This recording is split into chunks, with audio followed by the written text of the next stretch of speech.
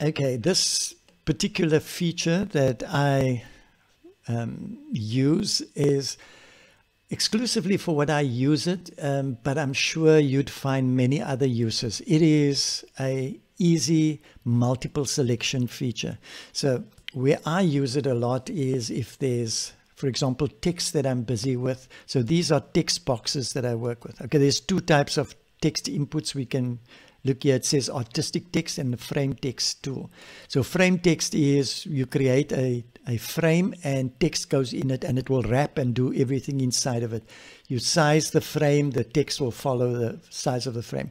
Whereas the artistic tool, if you make the box smaller, the frame here, the size of the thing changes with it. Now, of course, with this tool, you could do the same by clicking this bottom button here to size it, but uh, we're not going to go down that. There's another video that I did explaining that. But in my case, where this tool, the selection tool comes in really handy is if I'm doing an article like this. Now I know the design is nothing to be desired. I just kind of pasted stuff here for the sake of it. But if I go and I finish the design and I'm okay, I'm happy now, but I think, wow, I want to change the font of all of these text boxes. What I'd have to do is keep the shift button down and click each of these to multiple selected. Or I can do the following, which is where I want to show you. You go to select and under select object, there's some listings of different types of objects. Now you can experiment with it. Uh, maybe you want to multiple select only shapes or artboards or filled objects or so forth. If you look here, you have multiple options.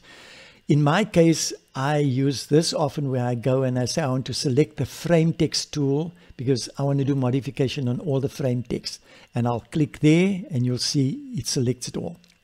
Also, you'll see here in the layers, I could have gone here and looked next to each of these things to see the little T and then multiple select them. But here it works just brilliantly, especially if you have a lot of objects that you want to select at one go. This sometimes is not too practical if you have text frames that you don't want to work with. You just want to select a few. You could decide to unselect a few. So if I don't want the top one, I could probably just keep my shift button down and click that and then it unselects that area or I could do it here. So, you know, if you have 20 things you want to select and there's 25 of them, it's easier to do a multiple selection, keep your shift down and deselect the five that you don't want included instead of trying to keep shift down and click the 20 that you want. Okay, hopefully that makes sense. So if I was going to do all of these except the first two, I could just go select, objects, frame text, and then I keep shift down and I click there and I click there and those are the two I deselect and the rest are all selected. Okay, but I'm going to show you now, there I go, frame text tool, and is as easy as that. If I want to change the font there, I can go in there and say maybe I'm going to, let's call it Arminio font. Um, what you've got to be cautious about, because this is not uh, Affinity um, Publisher, where the text frames scroll into the next text frames.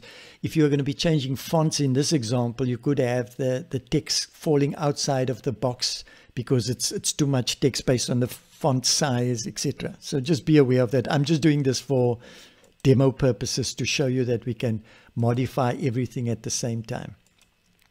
Okay, in same way I could do it if I wanted to select, and I'm going to make this slightly more difficult by making multiple images just all over the place. So say these, these were all the images that I wanted to, to select, but I don't want the top two here. So again, instead of shift click, click, click, click here, I could just go here to select and I say select objects and I can say images.